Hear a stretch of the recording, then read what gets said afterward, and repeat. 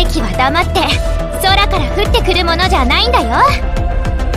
環境パラメータキャリブレーション完了。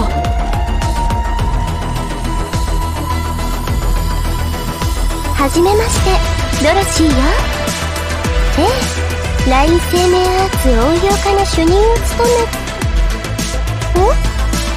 んロドスの人たちにはもうサイレンスさんが紹介してくれちゃったの？